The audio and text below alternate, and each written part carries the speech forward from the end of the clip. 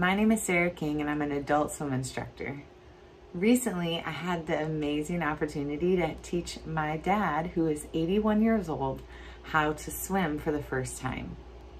He's going to share today how his relationship with water was before this, how this experience was, and I asked him to share any advice that he might say to those that also have limited swimming experience as adults. What was your experience like with swimming before this past week?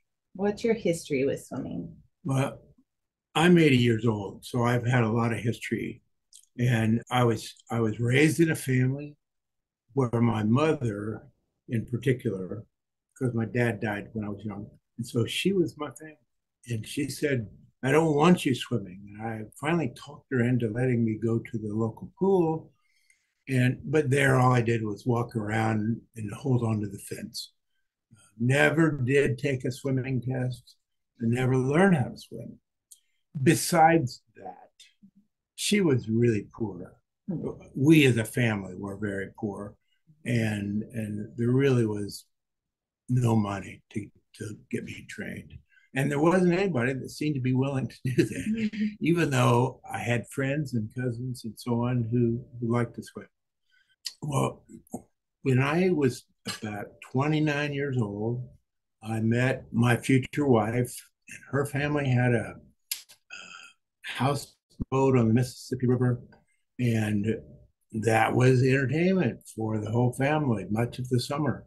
I didn't spend the whole summer there, but I did spend a few weeks off and on, weekends at least. And I, I felt a little ashamed when I was with the family because all I could do is get off the boat when we pulled into the dock and I'd walk around the the boat a little bit as in shallow water.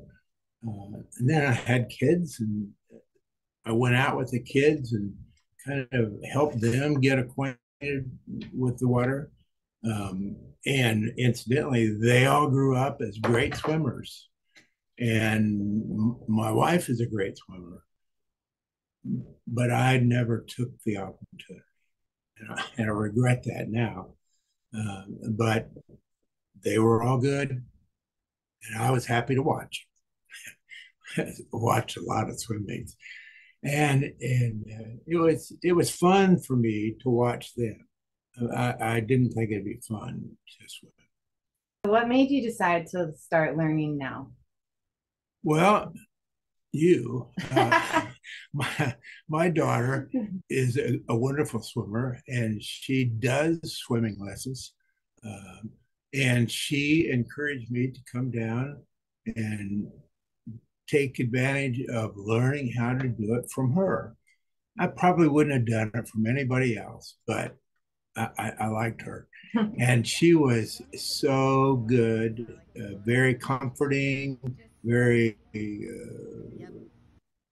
very aware of what, what needed to happen. And, and I didn't have a clue.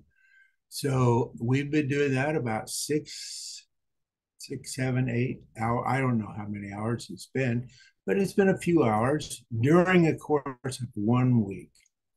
And now I feel comfortable in the water. I know how to breathe when I'm in the water. I know several different techniques in swimming. I can roll over, get some breath that way when I get tired, and then I can get back to what I'm doing just you name it, she did it. it was it was great. And unfortunately, it's coming to an end. I have to go home.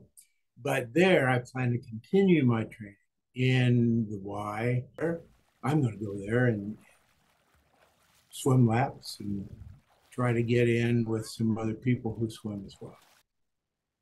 So I'm happy. Awesome. Do you have any advice for people that don't have very much experience with swimming? Yes, yes. I think you should take some lessons. I, you know, I waited until I was over 80 to do that. And now I, I really regret it. Uh, it's safe, it's fun, and I had to shed a lot of, of just fear and with my daughter, it was no fear at all. She did a good job of teaching. and I did a good job of learning.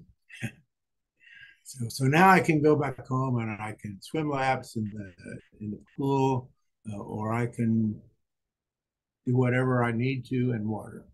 And I encourage everybody to do that, preferably before they get to be my age.